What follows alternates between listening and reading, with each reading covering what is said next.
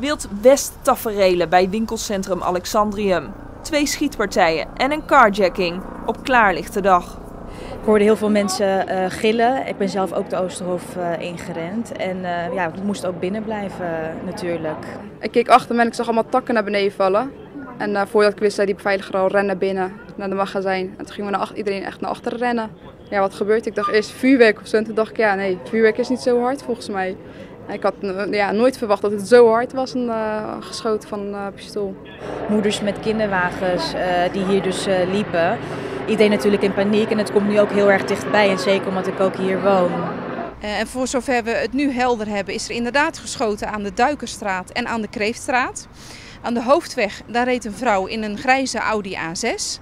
Uh, vanuit een andere auto liet iemand een heel groot wapen zien, volgens getuigen een automatisch wapen. De vrouw heeft uh, direct haar auto afgestaan en degene uh, die het wapen hadden, die zijn er met haar auto vandoor gegaan. Leerlingen moesten verplicht binnen blijven. Daan zei, mama, ik heb schoten gehoord, gezien. Er is uit de klas iets gezien. Er is een heleboel politie. En ik heb in eerste instantie terug, blijf lekker binnen bij de juffrouw. Is er politie? Is er, is er iemand gewond? Uh, blijf bij de ramen weg. Hou je ogen open en luister gewoon goed naar wat er moet. Um, ja, daarna zei hij, ja, ik snap nu wel wat er ongeveer gebeurd is. Er hebben auto's op elkaar geschoten. Er was iets met een BMW, een Range Rover.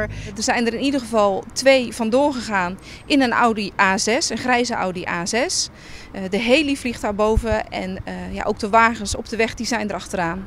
Kijk voor de laatste updates op Rijnmond.nl.